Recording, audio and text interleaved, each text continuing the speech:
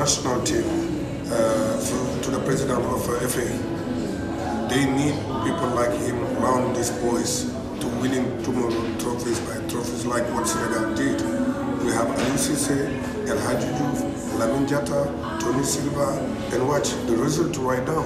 You cannot have a man like him uh, with, uh, if he came to Senegal tomorrow, he can work with us definitely because he deserved it for what he did he, need more than more. Uh, I remember I used to fight for Aliou Cisse to become the, the, the, the, the coach.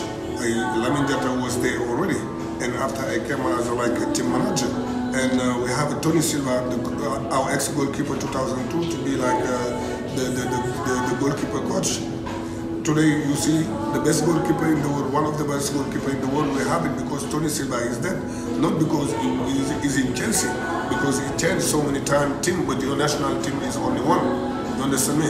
Like what they say, uh, today the best example, what, what Cameroon did. They go there from, and people to know the house, to tell to know the national team around. Like, uh, I don't say that to want to disturb any, any, any, anybody. I just want to say that because it's trustful.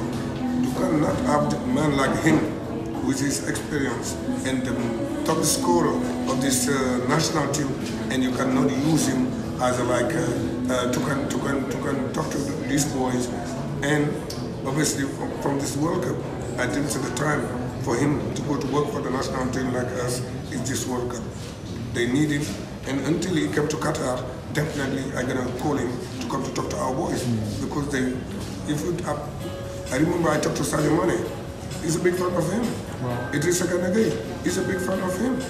You know, and until George Weah, we're talking about the King George. He's a big fan of him. That's why when you have a legend like him, you know, I know you cannot put or call everyone, uh, all people, uh, most of the people to play for the national team to come, tell them to come. But people like him, that's why you need him because he's one of the greatest legends you have in this country.